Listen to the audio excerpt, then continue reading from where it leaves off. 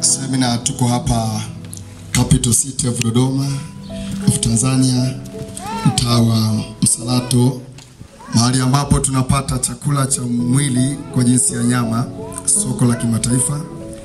Lakini Mungu ameleta neema, sasa tule vya rohoni kimataifa Dodoma. Ni mfululizo wa somo la imani iliyo takatifu sana. Nanga kuu iko katika kitabu cha Yuda sura ya kwanza na mstari wa ishirini. Mpenzi, inaomba ujijenge katika imani iliyo takatifu sana, imani iliyo takatifu sana. Katika mafunzo haya tumeona vitu vingi sana ndani yake, lakini ifahamike tu kwamba hakuna tatizo juu ya manabii wa uongo, juu ya mitume uongo, juu ya watu wanaouza udongo, wanaouza mafuta, wanaofanya chochote kile, hakuna tatizo, maana hao ni miongoni mwa matapeli kama walivyo matapeli wengine. Sasa tatizo liko kwa anayetapeliwa, na ndio maana kanisa ni vizuri tujifunze, tuelewe kitu halisi. Ukijua original, hata zikija feki mia utaziweka pembeni. Leo tumekuwa na Wakristo ambao hawana imani iliyo takatifu na hawataki kujifunza imani iliyo takatifu kwa sababu ina gharama kidogo. Yesu akasema, duniani mnayo dhiki. Kwa sababu ya kupenda kulipua mambo, watu tumekuwa tunakimbizana na aina ya wahubiri na aina ya ibada na aina ya watumishi kwa ajili ya kumaliza changamoto katika njia za mkato. Lakini imani iliyo takatifu unakwenda hatua kwa hatua. Biblia inasema unakuwa kutoka imani hata imani, utukufu hata utukufu. Wangapi tulikuwepo jana? Hebu nyosha mkono juu sana. Wangapi tumekuja na karatasi zile maalum za kazi maalum? Wale wanajua kile tulitangaziana. Nani anayo karatasi? Nasumbua sumbua mambo yako, maisha yako kwa namna nyingine. Wao wanaitwa wachawi. Nilisema kwamba uandike jina la mchawi mmoja kila mtu anaye adui mmoja tu ambaye amtakii mema kwenye maisha. Na mimi huwa nawashangaa Wakristo wanaoonea huruma wachawi, huenda nao ni sehemu ya uchawi, kwa sababu wachawi hawaja wachawi wanaua watu, wanaua ndoa, wanachukua watu kufanya misukule. Wachawi wao huwa wanakenua meno, huwa hawacheki. Kwa hiyo ukimuonea huruma mchawi, aidha na wewe ni mchawi mwenzake au umelogwa pia, hata ufahamu wako haujui kwamba Mungu ametupa madhabahu inayojibu kwa moto. Ndio maana tunaimba na julikane kwamba yuko Mungu wa Elia. Leo Mungu akanisemesha kitu, akasema leo tusichome moto, tukusanye makaratasi. Kesho kama kuna mtu ana hirizi, kama kuna mtu ana vitendea kazi vya kichawi, kama kuna mtu sigara zinamsumbua, chukua sigara moja tu, nunua, ilete hapa, tutaichoma pamoja na mifumo yote. Mimi kabla sijaokoka nilikuwa navuta sigara na bange, nilikuwa navuta sigara sports packet nzima, sigara ishirini nilikuwa navuta bangi misokoto mitatu. Siku moja mtumishi wa Mungu jijini Dar es Salaam pale Kimara akatangaza kwamba wanaosumbuliwa na mambo mbalimbali, nguvu za giza, ulevi, kuvuta sigara, basi walete vifaa vile, tuje tufanye maombi na tuvichome madhabahuni. Kwa hiyo nilibeba baadhi ya sigara zangu na bangi yangu moja nikapeleka pale, na nilikuwa cha kibobu kweli kweli. Wakati naenda hakuna hata mtu alijua kama naokoka, lakini vikachomwa na nikaombewa. Niko hapa, utafikiri sijawahi kuvuta nikotini. Neema ya Mungu inatembea kwa njia ya kuombeana. Kwa hiyo tuko kikazi kwa ajili ya kusaidiana. Imani iliyo takatifu sana. Leo nitakupa andiko ambalo utakwenda kusoma nyumbani, kwa sababu ya muda nifafanue baadhi ya vipengele kama vinne vitano, muda ukiruhusu. Matendo ya Mitume sura ya pili mstari wa 42 unashuka mpaka unaimaliza ile sura. Kitabu cha Matendo ya Mitume sura ya pili ni kitabu kinachoonyesha kuzaliwa kwa kanisa. Ukitaka kujua kanisa kwa maana ya kanisa, soma kitabu cha Matendo ya Mitume sura ya pili, inaitwa sura ya kuzaliwa kwa kanisa. Kwa hiyo Mkristo yoyote duniani unayenisikiliza live, ambaye uko kwenye mkutano, unaosikiliza kwa YouTube, Instagram, Twitter, maana tuna mitandao mbalimbali. Ukristo sio dhehebu. Ukristo una ladha ya aina moja duniani, na ukisoma kitabu cha Matendo ya Mitume ndipo utakapoujua Ukristo, sura yake ya Ukristo. Yaani wale Wakristo walikuwaje, ili kwamba popote ulipo duniani, kama unataka kuiona imani iliyo takatifu sana, jifunze kwa kuangalia wale watu vile walivyokuwa vile walivyoanza. Sifa ya kwanza ya wale watu, Biblia inasema walikuwa wakidumu, walikuwa ni watu wa kudumu. Leo tuna Wakristo ambao ni kama tuna vifafa vya kiroho, tunaomba au tunaimba kwa sababu aidha kuna semina au kuna mkutano au kuna mwimbaji fulani ana upako wa namna ya kuweza kuamsha hisia. Saa hiyo mtu kachangamka kweli, kachangamka kweli.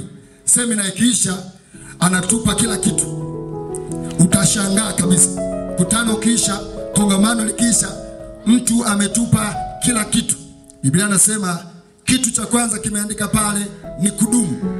Mikutano, kongamano, semina ni vitu vinavyoleta uamsho, kumwamsha mtu kwenye mambo ya imani.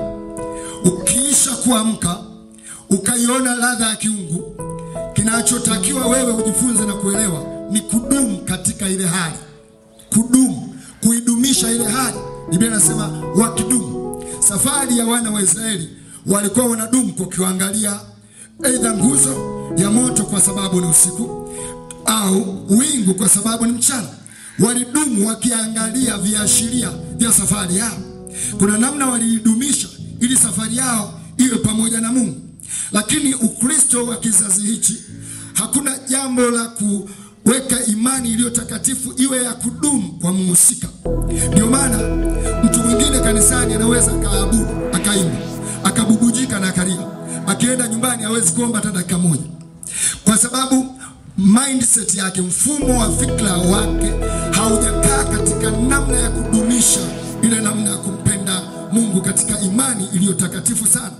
Tunapojifunza habari ya kudumisha, maana yake lazima ujue unakuwa na jambo endelevu kwenye uamuzi wako, kwenye dhamiri yako, kwenye nia yako ya kwamba mahali hapa sitatoka, hali hii haitatoka, jambo hili halitatoka. Jana kuna wimbo mmoja ulipenya kwenye moyo wangu. Huo wimbo ulikuwa na sentensi chache tu zinasema, mawazo yako mkabidhi Mungu, wala usifikiri mambo ya dunia. Mawazo kale ka sentensi nime, yani hata najaribu kulala, inaimba tu inaimba, ile jambo limedumu, limedumu. Mkutano umeisha, nimekwenda kwa nyumbani, ninakula chakula, bado ile sentesi ina, inaimba pale na ule mdundo una, kuna namna ambavyo kuna kama kitu kikipenya kwenye moyo, namna dumisha ile namna inayosababisha uwepo wa Mungu unakuwa pamoja na wewe. Samaki asipodumu kuwepo kwenye maji amejihakikishia kifo.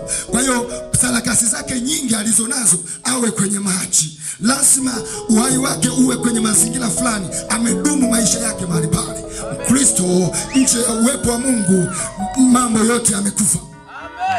Hakikisha unadumisha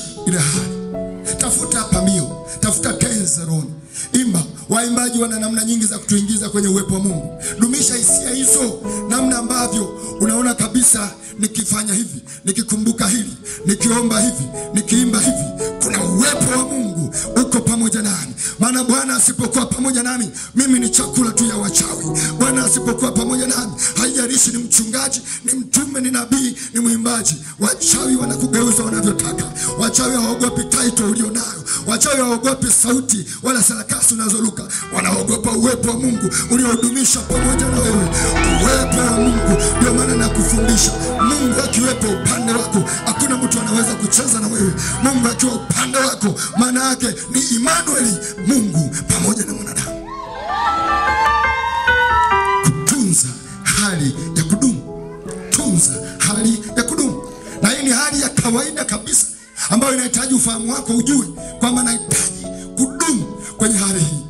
Fikiri pambio zinazokupa amani, fikiri tenzi za rohoni zinazoamsha hisia zako. Fikiri ukisoma tenzi, ziko tenzi ambazo zinaonyesha upendo wako kwake. Yesu nakupenda, umari yangu. Unajikomiti kwa Yesu, unampenda Yesu kuliko mmeo, unampenda Yesu kuliko chakula unachokula, unapenda hisia zako unazipeleka kwa Yesu. Ukiona ya Yesu na kupenda inakwama, unakwenda nyingine, unasema Yesu unanipenda, kwako nakimbilia, wewe ndiwe ngome yangu. Amina, amina. Ukiona upendo wako unafeli, unakwenda kwenye upendo wa Yesu. Namba 26 unasema Yesu wewe unipendaye, kwako ninakimbilia, wewe ndio utoshaye. Ninaomba ububujike kwenye moyo wangu daima, bubujiko lako liwe kwangu. Tunza, dumu, dumu. Ukristo ni namna ya mtu kuwa na Kristo. Kristo kama hayupo Masihi na upako wake na madhihirisho yako, hamna tofauti na watu wengine. Lazima ugundue siri ya kanisa la kwanza lilivyotembea. Jambo la pili, kuomba katika Roho Mtakatifu. Kuomba katika Roho Mtakatifu, sizungumzii maombi yale ambayo tunakariri wote, liturujia tunayoongozwa, sizungumzii hivyo. Imeandikwa kuomba katika Roho Mtakatifu. jizoweze kumsikiliza Roho Mtakatifu. Kuna majira ya kuamka uombe anayokuambia. Unaweza ukasikia kwa ndoto, amka uombe, na wakati mwingine shetani analeta uzito kwenye mwili. Mtu anasema nitaomba asubuhi, kwa sababu ameweka liturujia yake ya maombi kwamba yeye anaomba anapolala na anapoamka. Wakati mwingine Mungu saa nane za usiku anakata usingizi, halafu anakuambia amka uombe. Saa unatakiwa kuomba, mbingu inakupa signal, inakupa taa ya kijani kwamba huu ndio wakati wa kuomba. Kuomba sio kila wakati, kuna wakati maalum ambao Mungu anakupa neema maalum, upako wake kwa ajili ya mawasiliano yeye na wewe, wewe useme na yeye aseme. Majira hayo ni majira maalum. Ukigundua hiyo siri, maombi hautakuwa mzigo kwa Watu wengi leo ukiwaambia kuomba, wanapiga miayo kwenye mikesha, havieleweki. Kwenye mfumo mambo ni mgumu, kwa sababu wanaomba kwa kutumia akili, hawaongozwi na Roho Mtakatifu. Saa Roho Mtakatifu akikuongoza, hata kama maombi ya masaa manne, utaona kama dakika mbili. Uwepo wa Mungu utakuwa unatembea pamoja na wewe. Sentensi zitakuwa zinakuja kwa sababu mbingu imeweka signal kwamba kwa sahihi hii, kwa sababu hii, na kwa maajira haya, na kwa mtu huyu, na kwa kanisa hili, na kwa huduma hii, ombea. Utasikia unaomba, utasikia leo kanisani ukizungumzia maombi. Hakuna mradi mgumu kama maombi. Kosa kubwa tu ni kwamba hatuombi katika Roho Mtakatifu.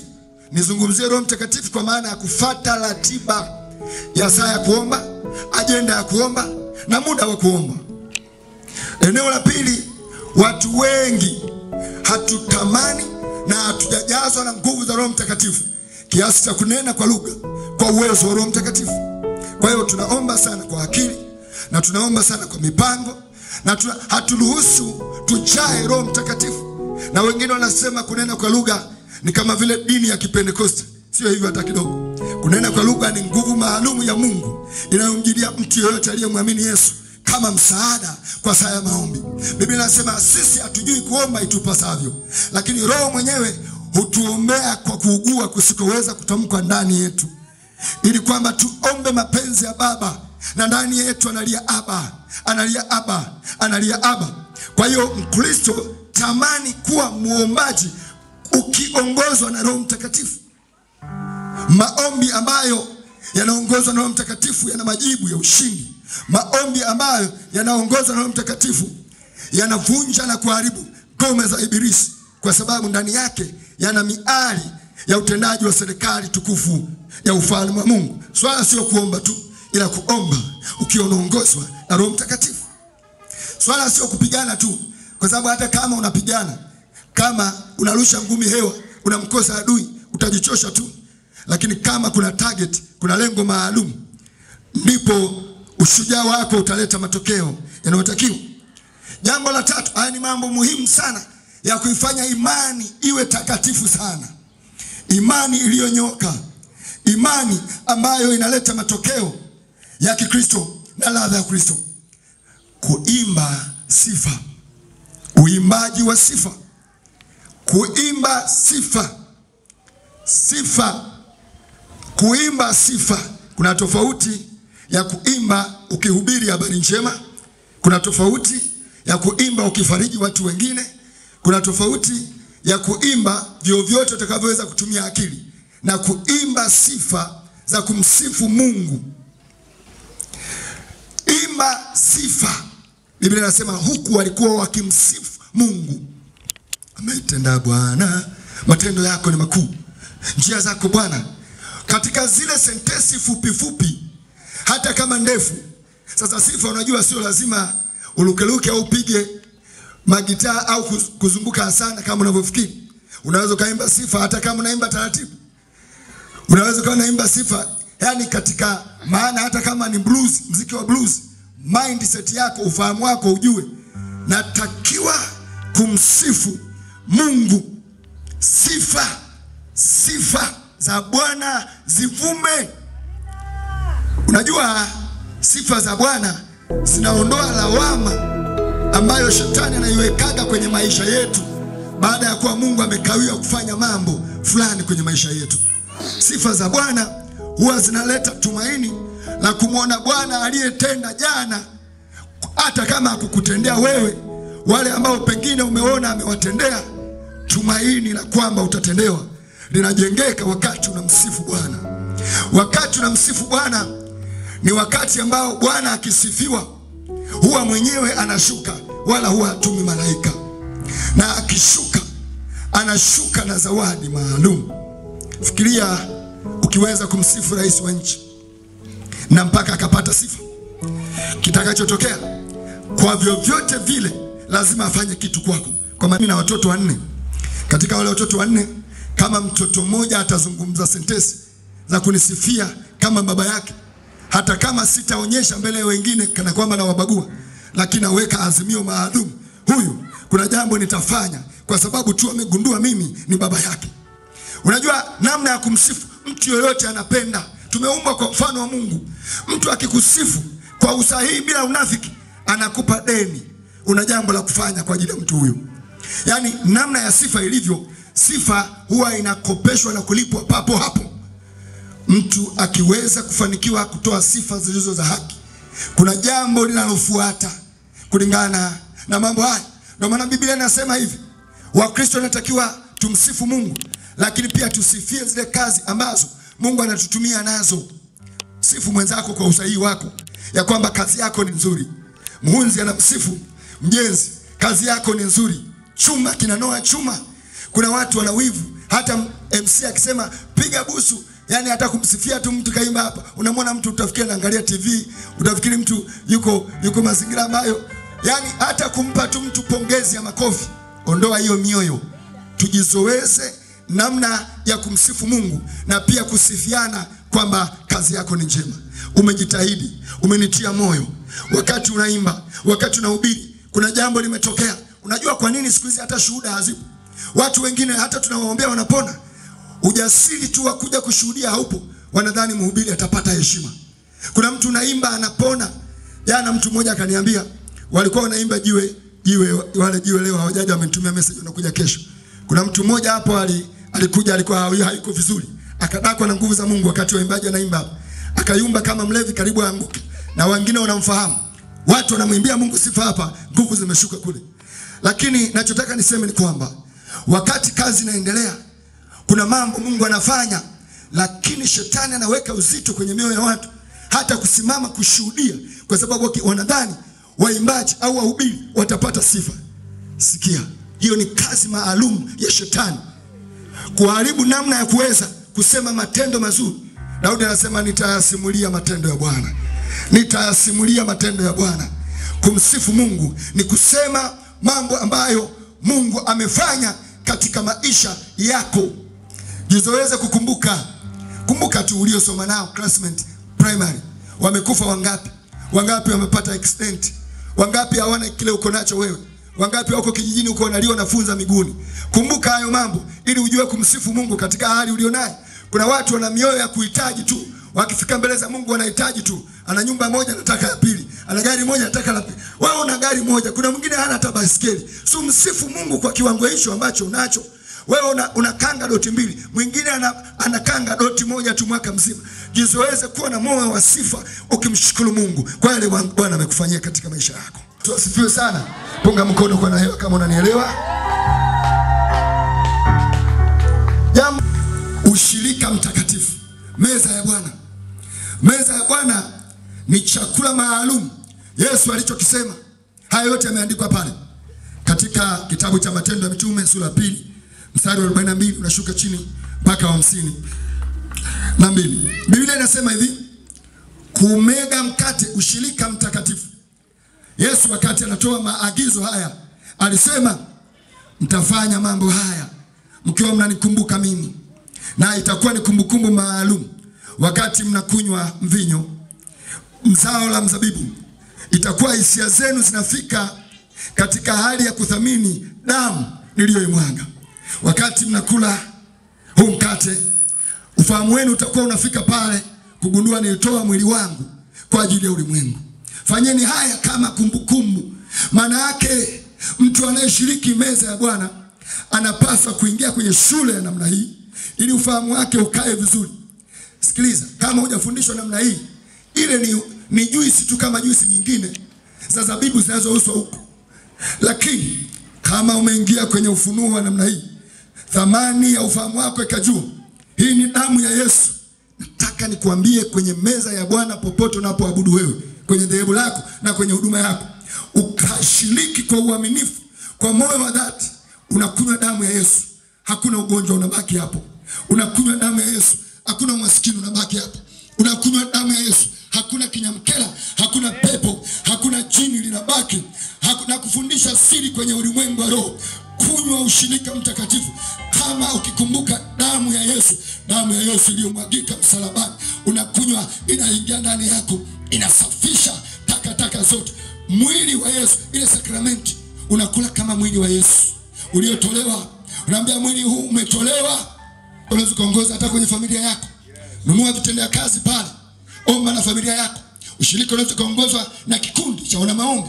Ushirika unaweza kuongozwa na watu wenye maono ya kufanana. Ushirika, ushirika maana yake ni watu wenye imani moja waliokusudia kufanya jambo kwa pamoja.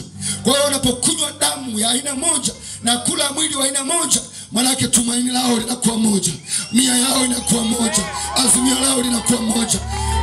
Namna hii Yesu anaingilia kwenye lile kundi kusababisha utukufu wake. Kama unabarikiwa, nyosha mkono kwa mbingu, sema amen. Ukiwauliza waimbaji hapa hawajawahi kuitana hata watatu wanne washiriki ushirika mtakatifu. Unapokunywa damu ya Yesu, kama kuna mtu ana moyo unafiki pale, unatoka. Kama kuna mtu ana moyo wa kuwadandia tu wenzake, yani kwenye kazi zake wao wao waje kwenye kazi za wenzao yaendi. Mkifanya ushirika mtakatifu, hayo mapepo yote yanaondoka. Lazima mjizoe. Wanakwaya, mnafika saa ya mazoezi, mnaweza mkafanya ushirika mtakatifu. Tunataka tuwe na shirika moja, tuimbe kwa roho moja, tuimbe kwa sauti moja, tuimbe kwa tumaini moja. Wahubiri, watenda kazi, ushirika mtakatifu. Ushirika sio ushirika tu, ushirika mtakatifu. Na haya ni mambo makubwa kwenye ulimwengu wa roho. Imani iliyo takatifu, imani ya kuupindua ulimwengu, imani inayoleta matokeo chanya katika maisha. Fanya ushirika mtakatifu hata na mkeo. Saa nyingine ndoa inasumbua, ambia mke wangu hatujui, yamkini kuna misimu ya kwetu au ya kwako, au wachawi wanatuonea wivu, wanatulisha majini. Sikiliza, iko damu ya Yesu, uko mwili wa Yesu. Sasa tutakwenda kufanya ushirika kama ndoa. Tunafanya, tunataka ndoa iwe takatifu. Tunafanya ushirika mtakatifu nyumbani. Yesu na damu yako, Yesu na mwili wako, ingilia kati kwenye ndoa hii. Nataka nikwambie, vinyamkela, wachawi wote waliokusudia mwachane watasubiri sana, wataona mnapendana, wataona mnaendelea, wataona mmebadilisha, kwa sababu ushirika wenu umekuwa mshirika mtakatifu. Kuna watu wamekariri tu ushirika wa dini kwa sababu ya siku za ibada au kama kuna programu maalum ambazo mchungaji ameandaa. Ushirika wa dini haukusaidii kitu chochote, unakusaidia tu daftari, ukifa uzikwe kwamba ulikuwa Mkristo na unashiriki, lakini kwenye ulimwengu wa roho ni maiti nyingine. Biblia inasema ya kwamba tuna jina lililo hai, lakini tumekufa kiroho. Haya mambo yanatendeka kwenye ulimwengu wa roho. Kuna siri kubwa sana. Ukiwa na ufahamu wa kutosha namna hii, usishiriki.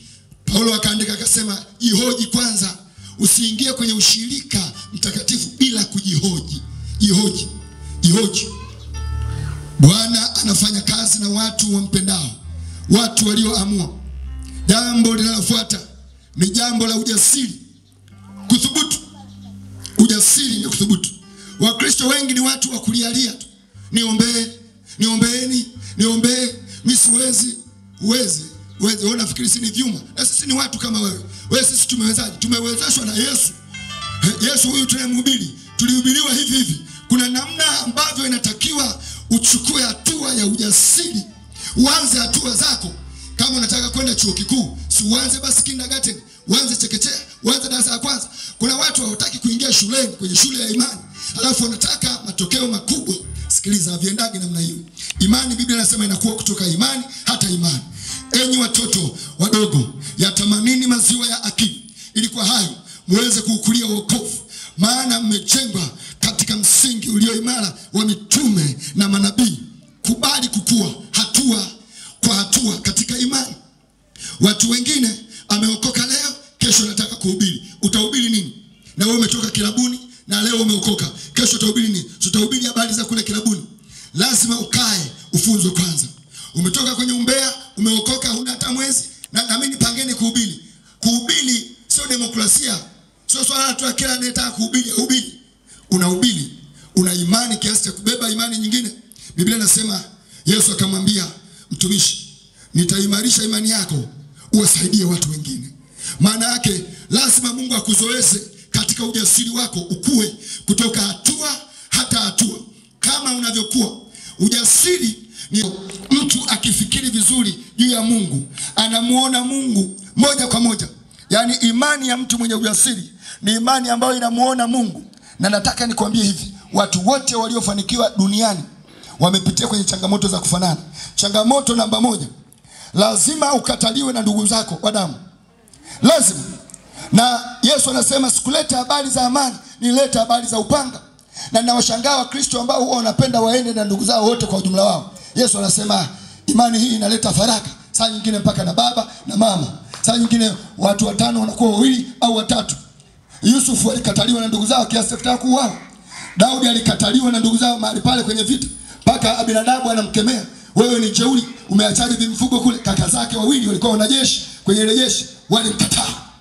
Lazima ndugu zako wa damu wa mwili wawe kinyume na wewe. Hiyo ni ishara imani yako ni takatifu sana. Lakini ukiona kuanzia shangazi, babu, bibi wote wanasema endelea tuendelea wamekukamata kwenye kona usiojua wewe. Wako watu, nataka nikwambia, adui wa mtu ni yule wa nyumbani kwake mwenyewe. Wako walioshika kitovu chako, watu walioshika nyota yako, watu waliokuendesha, wako kijijini, maporini kule. Siku unaamua kuwa na imani iliyo takatifu, siku unaamua, hao ndo wanageuka kuwa adui zako wakubwa katika maisha yako. Hawa ndugu ndugu wa mwili wanavaa roho za uadui katika masuala ya imani. Ukiwa jasiri, mtazame Yesu, halafu simama, songa mbele. Daudi hakumsikiliza kaka yake, Yusufu hakuwasikiliza kaka zake, aliendelea mbele kuiangalia ndoto yake. Nazungumzia ujasiri. Ujasiri ni namna ya kuchukua maamuzi magumu, hata kama upoteze kila kitu, hata kama upoteze kila mtu, lakini kile ulichokiamini kitokee katika maisha yako kwa utukufu wa Mungu. Daudi anasema ya kwamba nimemtolea Bwana kila kitu kwenye maisha yangu. Paulo anasema nayahesabu mambo yote kwa kama mavi kwa ajili ya ladha tamu ya imani iliyo takatifu. Anasema sina budi mimi nipotee ili yeye atukuzwe. Yohana anasema mimi ninashuka, yeye hapana. Tumeumbwa na Mungu kwa maslahi ya Mungu, sio kwa maslahi yetu. Tunashindwa kuwa majasiri kwenye mambo ya Mungu. Kuna mtu ukimwambia jitoe kwa ajili ya Mungu, anapiga hesabu, naweza nikafa, itakuwaje? Kwa sababu ya ladha ya kuipenda dunia, kwa sababu ya kuipenda dunia. Unapenda dunia. Biblia inasema hivi, hali ya kuipenda dunia, mtu huyo anakuwa na moyo wa kusitasita. Unamwambia mtu funga siku mbili tatu, anasema nitakufa. Lakini watu wanaenda kwa waganga wa kienyeji, wanafunga hata siku tatu. Usifikiri majini au uchawi au nguvu za shetani ni rahisi kuzipata. Kama unafikiri utani, jaribu uende kule. Kuna watu wanakesha uchi, wanalala kwenye makaburi. Kuna watu wanakula nyama za watu ili wapate nguvu za shetani za kuwatesa watu. Unafikiri kanuni hiyo haitumiki? Shetani ameiba mambo ya, ya mfumo, ndio maana anawapitisha ana, ana, ana watu kwenye imani. Imani ni hivi, vile ambavyo unasikia na kutenda. Sasa ukisikia vibaya ukatenda vibaya, utakuwa mtu mbaya sana, ndio ushetani. Ukisikia vizuri ukatenda vizuri, utakuwa mtu bora, ambaye imani yako itakuwa imenyoka na kuleta matokeo mazuri kwako. Kwa hiyo jizoeze kusikia mambo mazuri, halafu weka ujasiri, usijionee huruma. Yuko anayekuonea huruma, aliyekufa msalabani kwa ajili yako. Yesu Kristo ndiye anayejua ladha kabisa na maisha yako. Yesu ndio anayejua hata kama unataka kupotea, yeye anaweza kukuokoa. Yesu ndiye anayejua ramani na mchoro wa maisha ulionayo wewe. Vaa ujasiri, vaa ujasiri. Daudi wakati anamkabili Goliati hakuwa na sifa hata moja ya jinsi ya kimwili ya kupigana na Goliati. Urefu alikuwa mfupi, mazoezi hata mgambo hajaenda, kibali kwa maana ya serikali walifosi. Hakuwa na sifa yoyote ya kupigana, lakini alikuwa na ujasiri. Na ujasiri aliupata wapi? Kwa sababu ya Mungu. Vita iliyokuwepo pale baina ya Daudi na Goliati. Goliati mwisho wa siku alisema hivi, nakujia kwa miungu. Daudi alisema ninakuja kwa jina la Bwana Mungu uliyemtukana wewe. Kwa hiyo Daudi alikuwa mwakilishi wa Mungu aliyeumba mbingu na nchi, Mungu wa Israeli, na Goliati alikuwa mwakilishi wa miungu kwa maana ya shetani. Kwa hiyo tunapopambana na watu wachawi, wanajimu, wanaofuga majini na wanaofanya takataka nyingi kwenye ulimwengu wa roho, maana yake hata kama wako mia tatu mia tano niko peke yangu, mimi Mkristo hai duniani, maana yake mimi sio swala langu. Wacha tugombanishe miungu wetu wapambane, wacha tugombanishe miungu wetu wapambane, Mungu wao na Mungu wetu wakutane. Sio swala la wewe, usiangalie kimo chako, usiangalie uwezo wako. Wewe mpeleke Mungu wako, mwambie niko na Mungu wangu hapa, yuko niko na Mungu wangu. Atawatafuna miungu wenu, hata kama ni wengi namna gani, hata kama ni wakubwa namna gani, hata kama ni warefu namna gani, hata kama mnatisha namna gani. Mungu wangu ndiye ameumba mbingu na nchi. Hata kama ninyi ni wazee, mmezoea miungu yenu, ninaye Mungu wangu, ninaye Mungu wangu, ninaye Mungu wangu, ninaye baba yangu asiyeshindwa kamwe, ninaye ndio maana anaitwa simba wa kabila la Yuda. Ndio maana anaitwa mzaliwa wa kwanza kwa waliokufa, anaitwa nyota ya alfajiri. Amejaa neema na kweli, anapangua vilima na vilima, anasafisha. Yeye anaweza mambo yote. Sio swala ya kujiangalia ukoje, nachechemea au ni mfupi, ni mdogo wa kimo na nini. Hao wachawi wana ujasiri kwa sababu wanaamini nguvu za shetani na shetani wao. Amina. Anakwambia tu utakufa wewe, utakunyang'anya hichi. Machawi yana ujasiri kwa sababu yanaamini nguvu zile za giza na zinatokea. Wakristo ni wadhaifu kwa sababu hatumwamini Kristo wetu, hawezi kuonekana nje ya jinsi ambavyo sisi hatumwamini. Ndio tofauti yetu ya sisi na wao. Siku Mkristo akiamua kuchachamaa akasema ninaye Kristo yuko ndani yangu, ni swala la Kristo. Paulo anasema sio mimi ninayeishi, bali Kristo. Ukiweza kunigusa mimi, umemgusa Kristo. Ukiweza kunipiga mimi, umempiga Kristo. Ukiweza kunidhulumu mimi, umemdhulumu Kristo. Ukiweza kunidhulumu mimi, umemdhulumu Kristo. Wacha hiyo itakavyokuwa. Tunahitaji wa Kristo aina hiyo duniani ambao wanazungumza maneno hayo. Bwana asifiwe sana. Bwana asifiwe. Bwana asifiwe. Hiyo ndio imani iliyo takatifu sana, imani iliyo takatifu sana. Vita sio ya kwetu, vita ni ya Bwana. Yesu amekaa na shangaa, hawa watu nimewaambia wawe mawakili wangu, mbona wao wenyewe ndio wanapambana? Ukipambana mwenyewe unashindwa, ukipambana mwenyewe unashindwa. Ukisema simama mwenyewe, simba wa kabila la Yuda, simama mwenyewe, anasimama.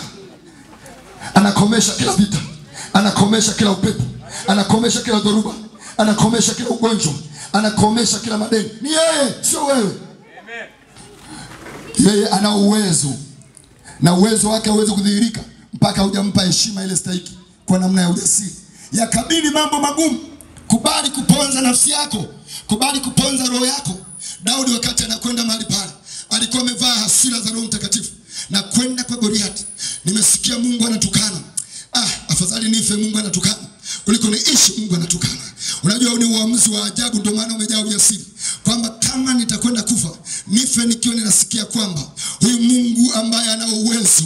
Sikuweza kuvumilia kuishi Mungu akitukanwa, siwezi kuvumilia nikiishi Ukristo unatukanwa, siwezi kuvumilia. Mungu anataka watu wa namna hiyo lakini leo watu wasikia tumempeleka kanisani, wamemwombea yeye, haijawezekana. Kwa hiyo tampeleka kwa mganga wa kienyeji, halafu ni Wakristo ya ajabu kabisa, haujai hasira takatifu. Sikiliza, Mungu hufanya kazi pamoja na wao wampendao. Watu wanaompenda Mungu wanaweza kumvumilia Mungu. Mtu mmoja aseme, Bwana, kama usiponiponya wacha nife. Kuna wengine wanakufaga hata hawajaugua, lakini sitakwenda kwa mganga kienyeji kwa ajili ya heshima ambayo nimekupatia. Kama sitajenga nyumba, wacha niishi kwa kupanga, lakini Bwana, sitakwenda kwa